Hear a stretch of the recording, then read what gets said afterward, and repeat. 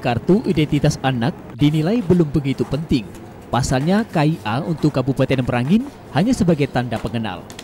Namun pemerintah tetap memulai program ini di akhir tahun 2019 lantaran perintah dari pusat. Kepala Dinas Kependudukan Merangin, Jailani mengatakan, di daerah lain mungkin KIA banyak kegunaannya, seperti untuk diskon naik angkutan umum dan belanja mendapatkan potongan harga. Namun untuk Merangin, belum ada program semacam ini dan KIA hanya sebatas kartu tanda pengenal.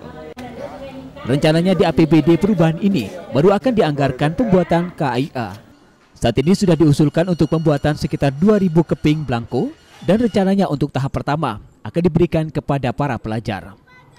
Di beberapa daerah juga di kartu identitas itu digunakan untuk mendapatkan kemudahan-kemudahan. Kalau untuk kita yang di Kabupaten Merangin, nanti nanti kita akan pikirkan dulu untuk uh, kemudahan-kemudahan yang bisa diberikan kepada anak itu. Artinya kalau untuk sejauh ini untuk kita baru sebatas tanda pengenal. Kalau kalau saat ini baru sebatas tanda tanda pengenal. Sampai saat ini kan masih tanda tangan manual. Lut Hidayat, Jambi TV.